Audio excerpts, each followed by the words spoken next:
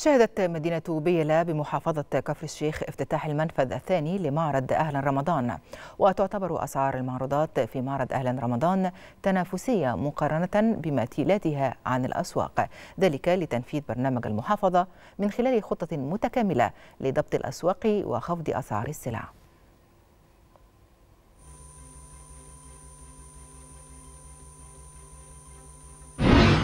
فرق الشاسع بين الأسعار بره وجشع التجار لأن هو عامل لنا بصراحه المجهود الجميل العظيم ده في خفض جامد وأسعار جميلة في متناول الجميع.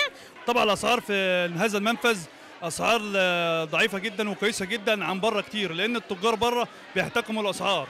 فطبعا الناس في أول يوم افتتاح تم عملية ضغط على المنفذ في ظل الأسعار الموجودة. الأسعار الموجودة أقل من بره كتير. أسعار كويسة جدا. طبعا الإقبال يعني معروف. آه كمان في فرق بين الأسعار بين هنا ومن بره المنتجات طبعا معروفة.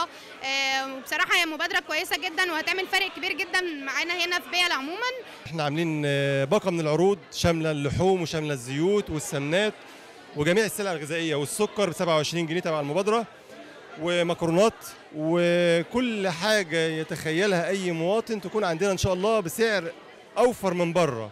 أنا بجيب الحاجة من هنا معلش أرخص وأوفر وأحسن. على أساس معلش ده شهر كريم في ناس ما معهاش. أنا بالنسبة لي كل السكر ده يعني بيعمل معايا فرق كتير.